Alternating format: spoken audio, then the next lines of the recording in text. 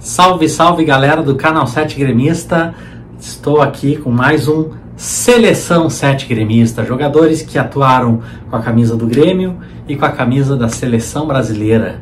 E hoje eu vou falar desse cara que vocês estão vendo aqui atrás. Nada mais, nada menos do que Arilson de Paula Nunes, mais conhecido como Paulo Nunes. Vamos saber um pouco mais da sua trajetória no Grêmio e na seleção? Confere aí. Arilson de Paula Nunes, hoje comentarista na Sport TV, né, mais conhecido como Paulo Nunes, simplesmente Paulo Nunes, apelido, tem vários apelidos para ele, Diabo Loiro, Paulo Bala, Babalu, Espiga, enfim, teve vários apelidos, né, jogador que sempre gostou muito dessa questão de apelidos. O, pelo Grêmio, ele jogou 197 partidas, foram 106 vitórias, 46 empate, 45 derrotas, 51 gols marcados. Pela seleção foram apenas duas partidas. Pela Copa Ouro de 97, Brasil 1, França 1, ele entrou durante a partida, naquele gol, golaço do Roberto Carlos de falta. E pela final da Copa América de 97, 3 a 1 diante da Bolívia, ele entrou durante a partida no jogo da final também.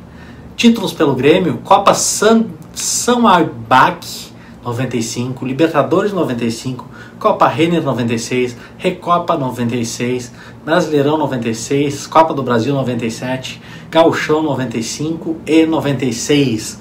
E pela seleção brasileira ele venceu essa Copa América que ele entrou no jogo da final contra a Bolívia, né? lá em, em La Paz, na altitude, ele entrou e acabou participando do título da seleção, que foi o seu único título com a camisa da seleção. Digo isso porque uh, ele foi jogador numa época onde tínhamos diversos craques, né? Tinha Romário e Ronaldo era o ataque titular, por exemplo, da seleção, né?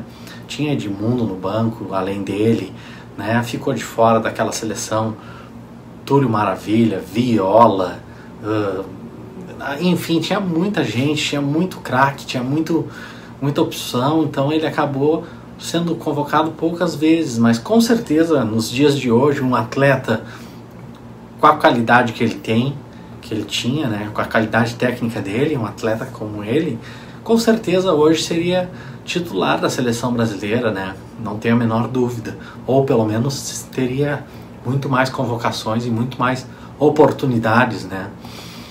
Falei mais uma vez para o Canal 7 Gremista. Quero convidar vocês para trazer mais gente para o nosso canal. Inscreva-se aqui, vem com a gente aqui no seu canal Tricolor.